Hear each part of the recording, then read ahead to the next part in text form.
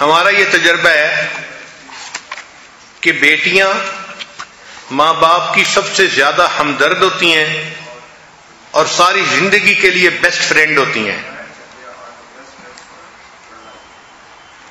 بیٹے اپنے ماں باپ سے شاید اتنی محبت نہیں کرتے ہوں گے جتنی محبت بیٹیاں کرتی ہیں۔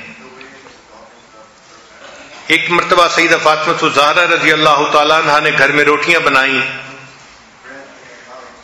جب کھانے لگی تو دل میں خیال آیا کہ فاطمہ آپ تو کھانا کھا رہی ہو۔ پتہ نہیں آپ کے ابا حضور کو کھانے کو کچھ ملا یا نہیں ملا۔ چنانچہ انہوں نے آدھی روٹی کھائی اور باقی آدھی روٹی اپنی چادر کے کونے میں باندھ لی اور نبی علیہ السلاط اسلام کی خدمت میں حاضر ہوئی نبی علیہ السلاط اسلام نے ان کا اٹھ کر ان کا استقبال فرمایا۔ پوچھا فاطمہ کیسے آئیں؟ اے اللہ کے حبیب صلی اللہ علیہ وسلم، میں نے گھر میں کھانا بنایا تھا، چار روٹیاں بنائی، ایک حضرت اجلانوں نے کھائی، ایک حسن نے اور ایک حسین نے اور ایک میرے حصے میں آئی۔ جب میں کھانا کھانے لگی تو مجھے خیال آیا کہ پتہ نہیں آپ نے کچھ کھانا کھایا یا نہیں کھایا۔ تو آدھی روٹی میں نے کھائی اور بقیہ آدھی روٹی میں نے بچائی اور میں آپ کی خدمت میں لے کے حاضر ہوئی ہوں۔ آپ میری طرف سے قبول کر لیجیے۔ چنانچہ انہوں نے آدھی روٹی نبی علیہ السلام کو پیش کی۔ نبی علیہ السلام نے ایک ٹکڑا توڑا، اپنے مبارک منہ میں ڈالا اور فرمایا، فاطمہ، قسم ہے اس ذات کی جس کے قبضے میں میری جان ہے۔ آج تین دن گزر گئے، میرے منہ میں کوئی نوالا نہیں گیا۔ تو یہ بیٹی تھی جس کے دل نے اس بات کو محسوس کیا اور اس نے اپنے باپ کے غم کو پہچان لیا۔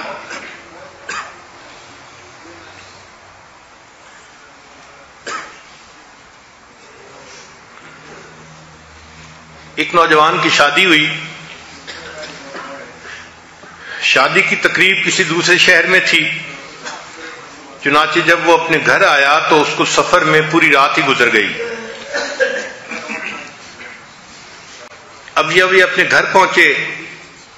تو عام طور پر نوجوان تو یہی سمجھتے ہیں نا کہ شادی کی پہلی رات تو میاں بیوی سے محبت پیار کی رات ہوتی ہے۔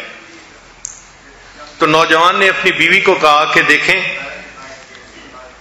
رات تو ساری گزر گئی اور صبح آٹھ بجیں گے تو لوگ آ جائیں گے ہمارے گھر میں۔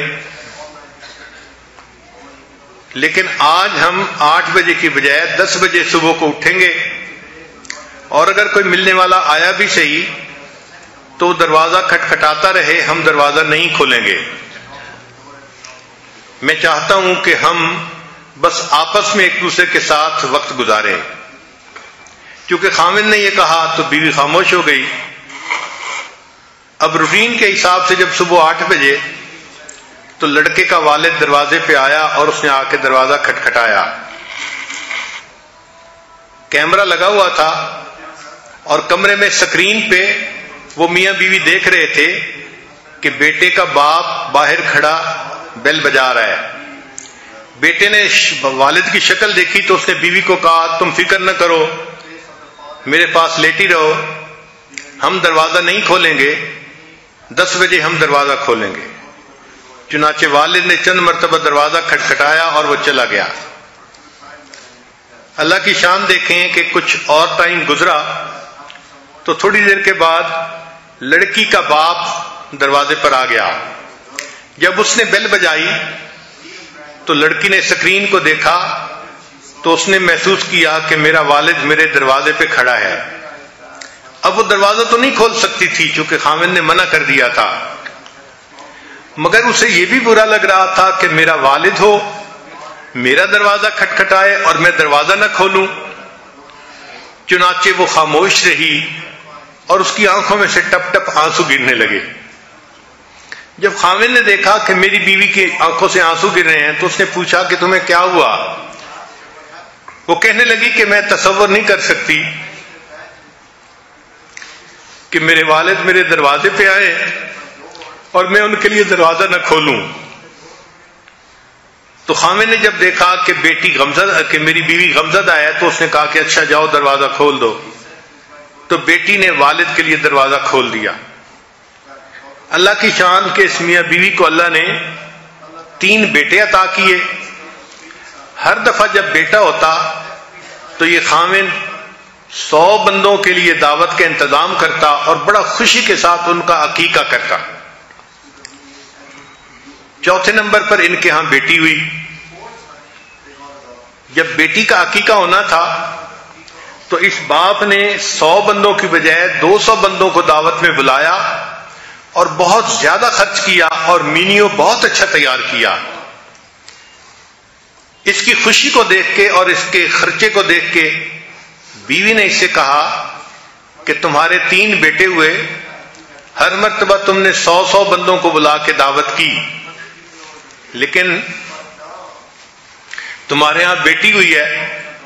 تو آپ نے دو سو بندوں کو بلایا ہے اور مینیو بھی بہت اچھا رکھا اور خرچ بھی بڑے کھلے دل سے کر رہے ہیں۔ کیا وجہ ہے؟ آپ کو بیٹی کے پیدا ہونے کی زیادہ خوشی ہوئی ہے۔ تو خامے نے جواب دیا کہ ہاں مجھے بیٹی کے پیدا ہونے کی بہت خوشی ہے۔ She is the one who will open the door for me بیٹے دروازہ نہیں کھولیں گے، مگر بیٹی بڑھاپے میں میرے لیے دروازہ ضرور کھولے گی۔